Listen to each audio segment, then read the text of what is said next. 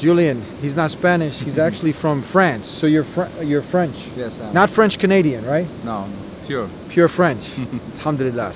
You know what made me uh, realize about the purpose of life is I was going to bed every every night and thinking. Uh, This is the Deen, this is the Deen Show.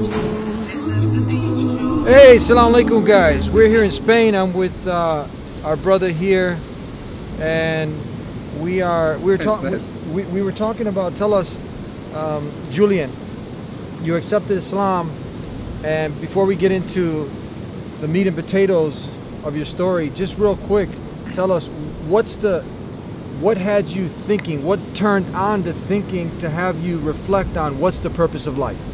you know what made me uh, realize about the purpose of life is I was going to bed every every night and thinking, uh, what's what's the whole fuss about this life, you know?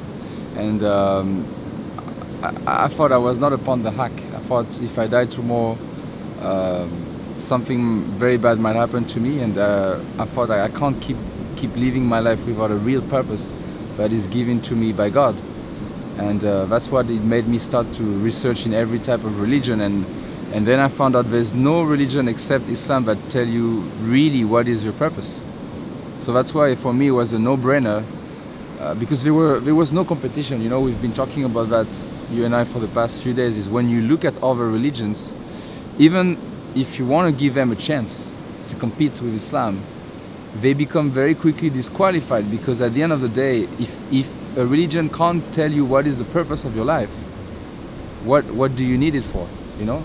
And uh, to be honest as i always said i never wanted to be a muslim. I never um, uh, wanted to uh, uh, you know practice islam. As a, as a french i thought it would be very hard but because i wanted to be truthful to to my creator i, had no choice to accept the truth.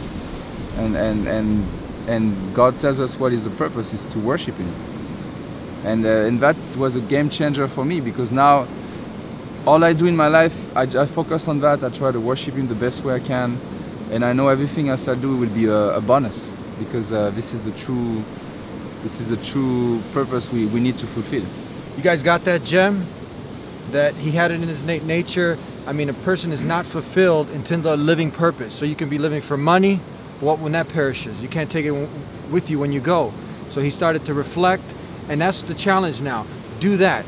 If you're seeking purpose, ask the one who created you, the owner of this heavens and, uh, of the creation of the heavens and the earth, for guidance. Say, guide me. Why am I here? And then open up a world religions book. Start to look at the introduction to these religions.